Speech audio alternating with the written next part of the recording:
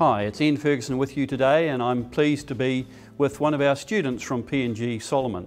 Solomon registered with us in PNG a couple of years ago to undertake a course uh, in uh, Australia. Solomon, how did you find the process with Ferguson Education? Uh, without doubt, I registered. After two weeks, I got in touch with my client officer. And after we got in touch, um, she found an institute for me, like right now in Australia Institute of Advanced Studies.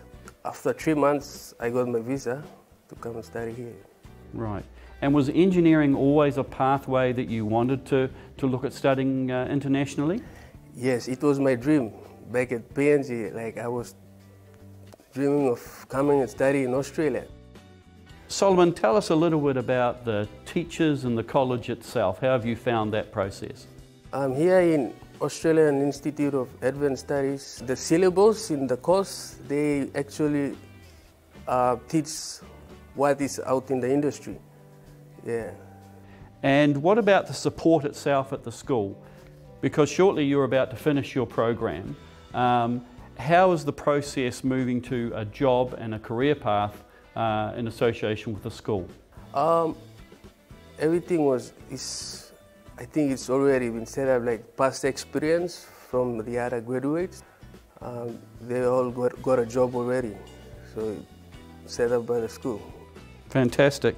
And would you recommend uh, Ferguson Education and uh, AIAS to fellow students back in PNG?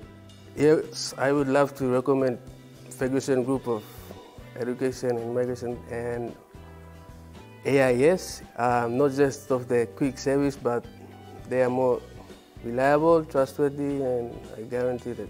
Fantastic. Well, Solomon, thank you for talking to us today. We've really appreciated your time and uh, uh, your replies, and we look forward to obviously assisting any other uh, PNG students that are wanting to follow the same sort of path as Solomon has uh, for not only a uh, opportunity to study internationally, but for a career path once you've completed your study.